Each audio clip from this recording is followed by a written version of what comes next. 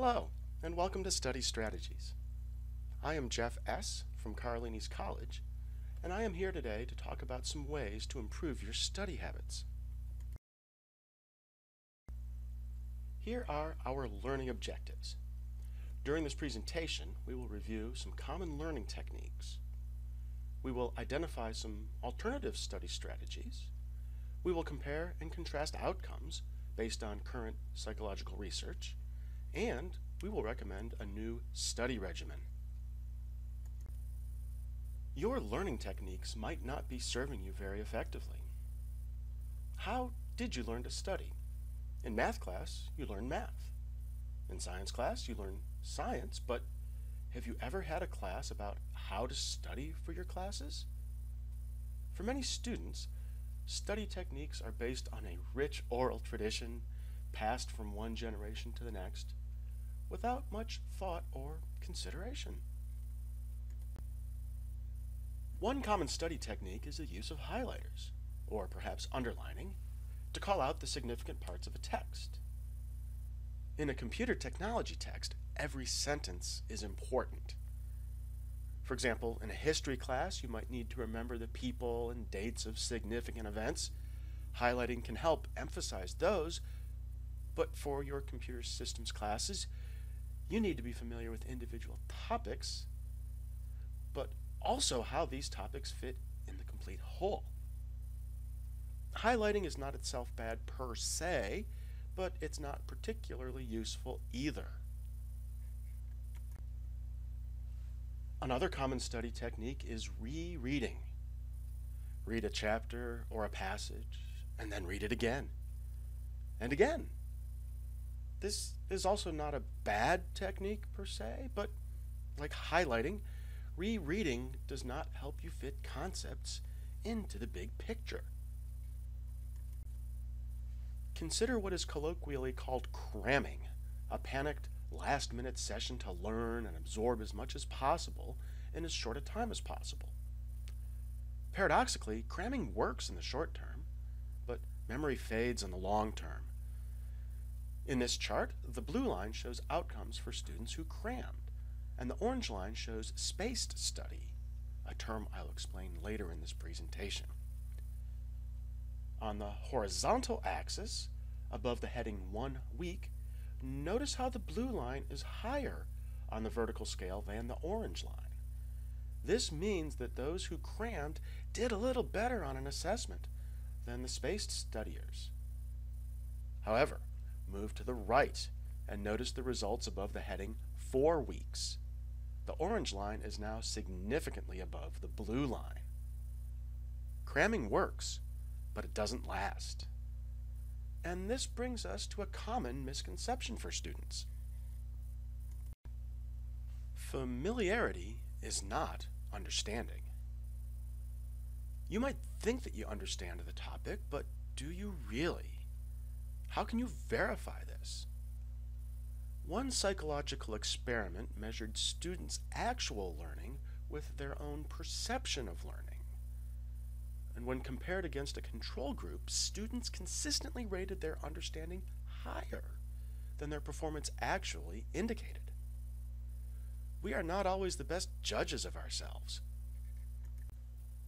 There are other ways we can fool ourselves, but they all fall under the heading of illusions of learning.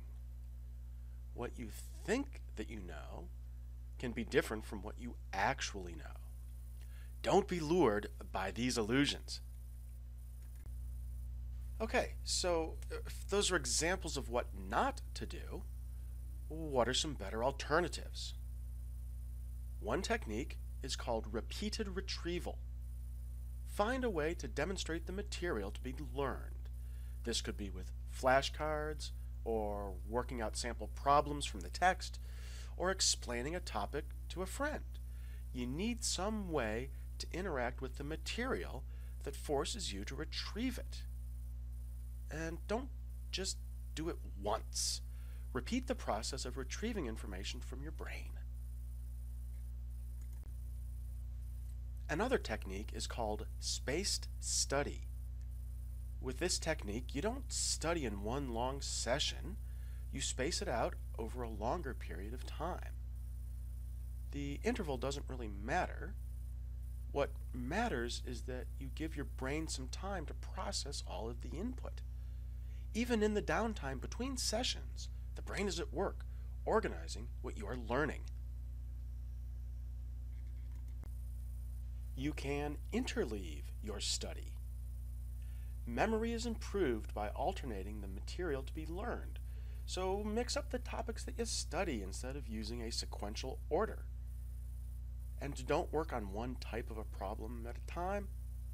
It's the variety of study that helps with retention. Suggestions for implementation.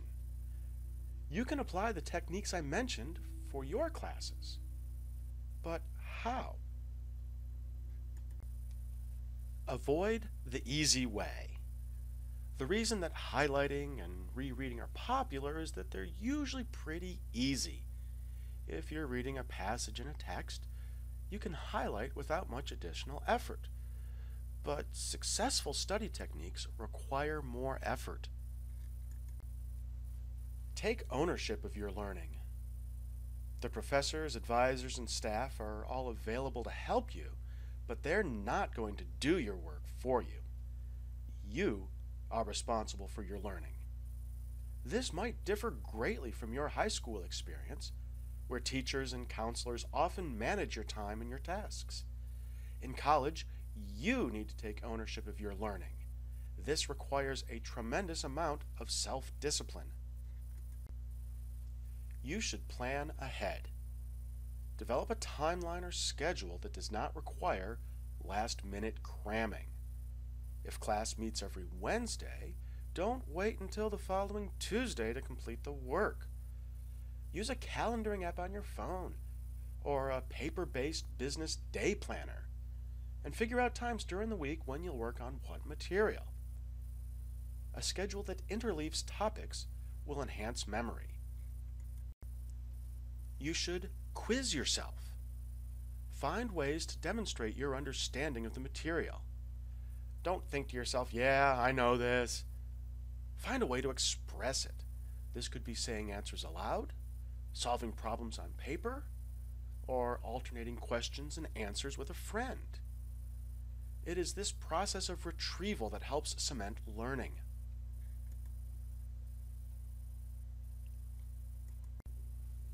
Mix it up. Do not let your class schedule determine your study schedule. Alternate the topics that you study. So, in summary, then, some study methods are not especially effective. Improved outcomes are demonstrated by current psychological research. You should use techniques that have been shown to work. These techniques are more difficult, more time consuming, and don't always yield immediate results. But if you're enrolled in college to pursue a career in technology, you will need mastery for years and decades to come. You are in charge of your destiny, and your study effort now will pay off in the future. I thank you for watching this presentation.